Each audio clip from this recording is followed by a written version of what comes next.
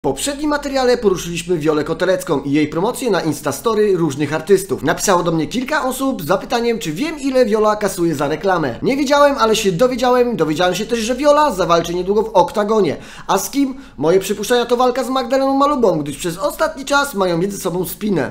Coś się dzieje takiego, że typiara mi gada, że ja się wszędzie wtrącam w paradę, no to to już nie jest fajne, gdzie ja się nigdzie nie wtrącam w paradę, po czym ja nagrywam story, że jestem syna szyzy, tam jestem z rycerzem, z Nel, z Karłem i Kabanem, po czym ta typiara przychodzi tutaj. No i zgadnijcie, kto to?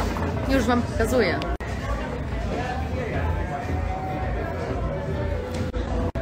Maluba i Rataj. Dziwne.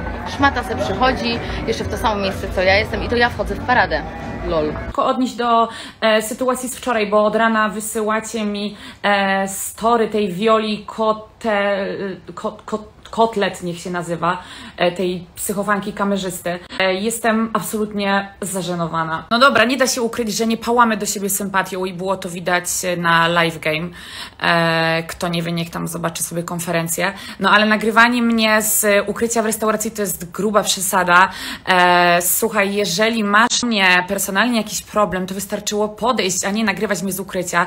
Widzę, że jesteś e, bardzo wygadana na swoich relacjach. Byłam od ciebie jakieś 10 metrów dalej, wystarczyło podejść, nawet nie wiedziałam, że tam jesteś, że czuję ogromne zażenowanie. No i do tego wszystkiego uważasz, że to ja za tobą chodzę, kiedy to ty od jakiegoś miesiąca cały czas wchodzisz mi w paradę. E, Słuchaj, mam nadzieję, że nasze kolejne spotkanie będzie już niedługo e, i tym razem będziesz miała od- odwagi, żeby po prostu do mnie podejść. Reklama artystów muzycznych na swoim Instagramie Viola wycenia na 1000 zł, a realny zasięg takiego posta to jest około 200 tysięcy wyświetleń. Co dziwne, było to w okresie lutego, a teraz jej zasięgi sięgają od 70 do 90 tysięcy wyświetleń. Bardzo duża różnica, ale rozumiem, że Viola Kotelecka teraz nie jest w prime. Co jest jednoznaczne, że reklama na Instastory u Violi aktualnie jest nieopłacalna.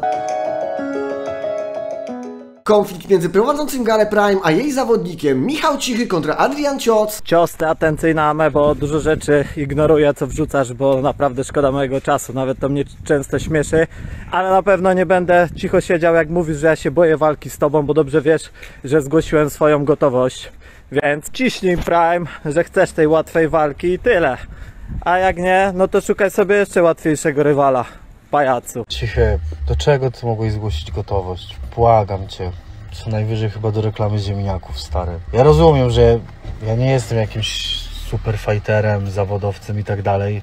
Tylko weź pod uwagę. Tylko cichy chcę ci przypomnieć, że jedyne z kim przegrałem to z gościem, który ważył ode mnie 80 kg więcej i był o 20 cm wyższy, który już wcześniej walczył. Ja nigdy w życiu wcześniej nie trenowałem. Drugim gościem, który e, trenował no, ponad 10 lat, jest naprawdę dobrym zawodnikiem. Też sporo walk na swoim koncie z, z niezłymi gościa, gośćmi. I przypomnę Ci jeszcze, że wygrałem z, e, nie trenując z gościem, który e, miał jedną, swoją, miał, miał jedną wygraną walkę na koncie. Był ode mnie o 20 cm wyższy e, dużo bardziej doświadczony i wiem, że trenował mm, i udusiłem go do nieprzytomności. Tak więc powiem Ci, że lepiej, żebyś został w tym, co robisz, czyli komentował sobie gale, udzielał wywiadów. Tylko zacznij nosić maseczkę, jak się wypowiadasz, albo ewentualnie zastosuj jakieś, nie wiem, e, mycie zębów czy coś. Ale ja federacji powiedziałem, no jeżeli Ty będziesz chciał się bić, ja mogę się z Tobą bić, tylko zastanów się dwa razy, bo odwrotu już później nie będzie. Co z tego wyniknie? Czy dojdzie do takiej walki? Bądźmy czujni.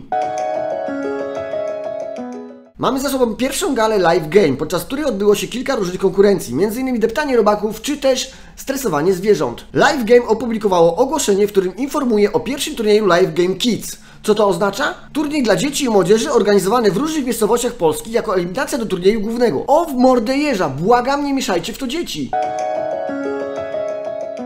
Jak wiemy, na ostatniej gali nie wszyscy uczestnicy wzięli w niej udział. Mega Kot ze względów zdrowotnych niestety nie mógł być, ale na szczęście jest już z nim coraz lepiej. Z innej przyczyny nie mógł przybyć zawodnik dawnego Rola i Division, czyli Bartolo. Bartolo aktualnie, jak widzimy na dokumentach, został zatrzymany z podejrzeniem o czyn 197 paragraf 3 kodeksu karnego, czyli jest to podejrzenie o gwałt. Dziewczyna, która jest świadkiem w sprawie, jak informuje obecna żona Bartolo, jest w wieku niecałych 15 lat. A, sorry, przy dupasa, Wbijał kurwa. do 14-latek. A ile ty masz lat? Wystarczająco. Ale mordę masz taką, żebyś podbijał. Do kogo?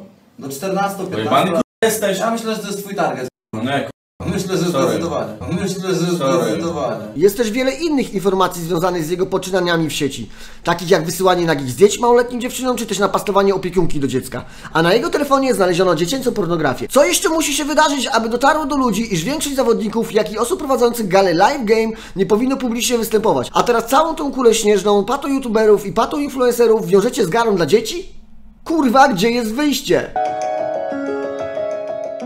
Wróćmy na chwilę do lasu Cheaty i sprawdźmy, czym aktualnie zajmuje się na swoich transmisjach na TikToku. Ja dzwonię z ogłoszenia z Roxy. Tak?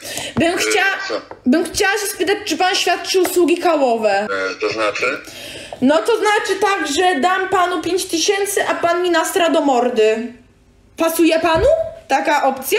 Nie. Mam po prostu taki fetysz takiego czegoś, że lubię jak ktoś mi, yy, no, spoczywy fizjologiczne daje do mordy. 5000 złotych wystarczy nastrać mi do mordy, najlepiej tak, tak dużo dosyć i naszczać potem tak do popitki, bo ja lubię jeść właśnie gówno ludzi i pić siki na popitkę. Dobra, to był zły pomysł, aby tam zaglądać, więcej tam nie będę wracał, bo nie ma po co. A na koniec coś miłego, czyli kamerzysta ma kontuzję nogi, więc karma za niedobre uczynki powoli wraca. Życzymy oczywiście zdrowia. Na tą chwilę to by było wszystko. Oczywiście zostawcie łapkę w górę i subskrypcję. Łapka w górę to jest dla mnie taki sygnał, że materiał Wam się podobał i chcecie więcej. Pozdro! Winny live!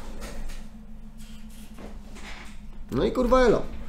Siemano jeszcze na chwilę. Posłuchajcie, w pierwszym odcinku tej serii poruszyłem temat ratowników wodnych, którzy robią transmisje na TikToku. W ten sposób y, narażają ludzi, którzy są, korzystają z akwenów wodnych na utopienie się. Po prostu nie ma możliwości prowadzenia live'a, utrzymania uwagi odbiorców i kontrolowanie plaży poprzez e, e, obserwacje. Jest to opisane w regulaminach. I napisałem taką skargę do gminy, która nazywa się, która nazywa się Kobylanka. Napisałem im maila, w którym e, opisałem wyda- całe zajście i wysłałem też tam zrzuty ekranu i nagranie. I wyobraźcie sobie, że minęło 10 dni od mojego, moje, napisania mojej skargi. 10 dni minęło. Dwa dni temu napisałem maila, co się dzieje, że oni mi nie odpowiadają, co z tą skargą się dzieje. Dzisiaj tam zadzwoniłem. Wyobraźcie sobie, że oni mi maila przysyłają, że jeszcze nic w tym kierunku nie zrobili, dlatego że ja muszę uzupełnić swoją skargę w imię i nazwisko. Czyli ten ratownik wodny wciąż robi te transmisje na żywo, tam nikt w ogóle nawet nie zerknął na to. Rozumiecie, co się dzieje? Rozumiecie, czy, czy, to, czy, czy to dociera do Was, że oni teraz nic nie robią w tym kierunku, bo potrzebują moje imię, nazwisko? What the fuck it's gonna now?